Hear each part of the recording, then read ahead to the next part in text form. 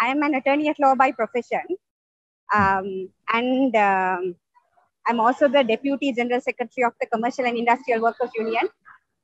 So I'm also a unionist. Okay. Um, and I'm also a member of the Liberation Movement, which is a left uh, feminist uh, uh, movement of women. So that's how okay. I would introduce myself. Right. Uh, so, Swasthika, uh, how can we change the direction of this entire what we call uh, the struggle?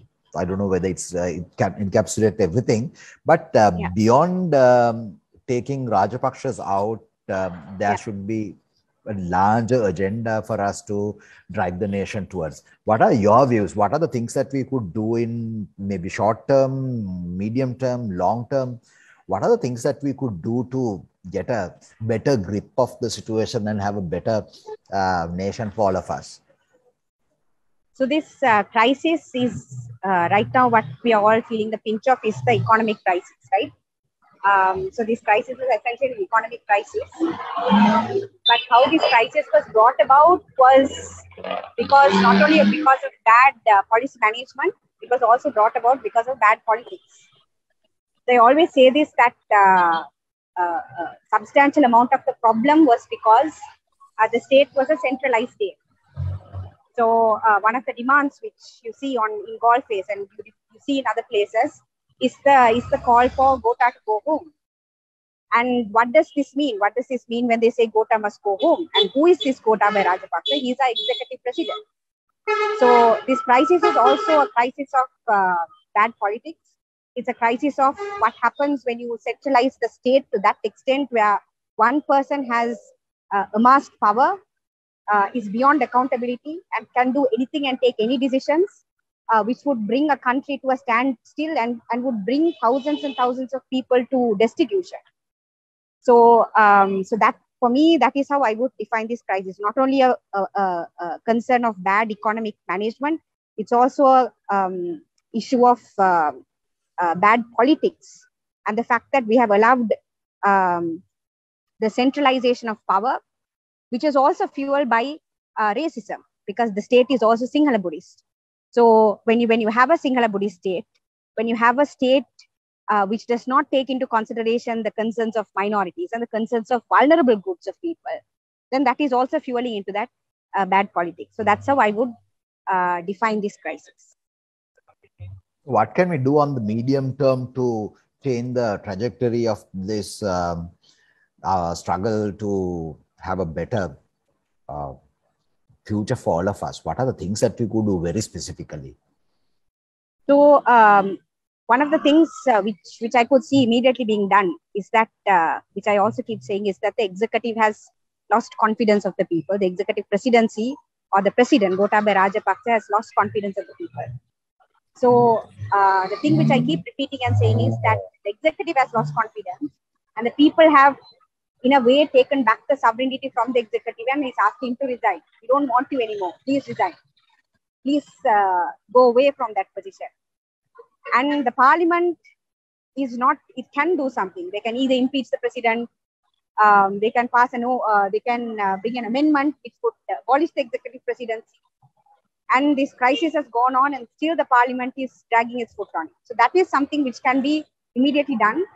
There are 225 people in parliament they can pass a law to abolish the executive presidency or they can bring in an impeachment motion and get rid of Gotabaya Rajapaksa. So that is something which can be immediately done to resolve the immediate demands of the protests which are going on.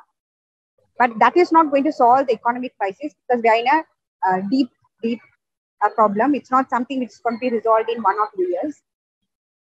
So one of the things which we have been suggesting is that the country has defaulted on debt just before going into IMF. And we all know that IMF is not, um, IMF gone into other countries like Argentina, like South Korea, like Greece, and have wrecked their economies. So yes, right now we don't have an option and we need to go into IMF. But do we have an economic plan to, to tell that even if we go into IMF, how are we going to come out of it? Or are we going to just go and ask the IMF to prescribe austerity? Are we going to ask the IMF to prescribe um, cutting costs, cutting government expenditure when that is what we need right now? So that is something which we need to think about in the medium term. But also, I'm also looking at because I work with a lot of workers, we're also looking at a large, massive scale unemployment, which is going to affect thousands of workers in this country. Now, uh, when in 2019 and 2020, when the uh, COVID pandemic hit our country, the business community, who has been um, enjoying concessions from the state, whether it be tax concessions, whether it be custom concessions, whether it be flexibility on labor, whether it be the fact that unions can't function freely inside the free trade zone. So our business community has been doing business and uh, amassing wealth at the expense of the workers. If you see the wages of the workers, it's very, very low. So the workers do not have the buffer to protect themselves from this economic crisis. So even when you look at the pandemic, what happened during the pandemic? The business, particularly the export sector said, our orders are getting cancelled. Uh, brands are cancelling orders. So we can't survive it. So uh, immediately what did they ask? We need to cut down wages and wages were cut for workers almost by 50%. So workers actually walked into this crisis with not even the basic um, reserve of savings. Workers walked into this crisis, the crisis now, they don't even have the basic savings, a buffer of savings which they could have had if their wages were not cut. That is a free trade zone. When you look at the plantation sector, government passed a um, wages code decision stating that minimum wage should be 1000 now did the planters association pay did the plantation pay no they were paying 500 600 under various pretexts so the plantation community is also walking into this crisis without having uh, land to live in without having a house over their head without having basic decent without having savings and on top of the uh, microfinance and the debt question so the workers are impoverished the workers are workers have become absolutely destitute and they're walking into this crisis. So the, the proposal which we uh, two days ago we launched a position paper on behalf of uh, free trade zone workers. What we have been saying is that the business community must be held accountable. They merited, they they uh, they uh, benefited out of low wages. They benefited out of uh, legal concessions which the government has given. The, the government has always looked into the welfare of the business community.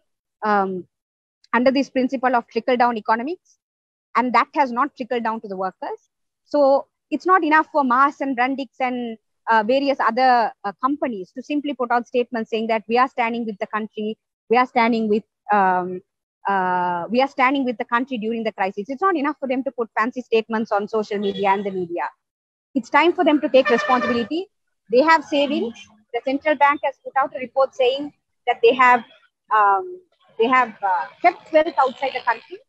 So it's high time without, without uh, you know, without once again crying, it's high time they step up and protect employment and not talk about relocation. Because the factories have already started talking about relocation when the country is in a crisis.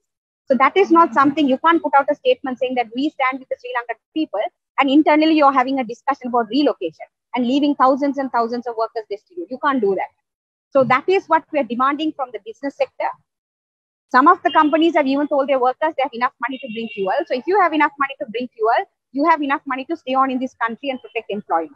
So that is something which you are looking at in the short term. That is also something which you are looking at in the medium term. In terms no. of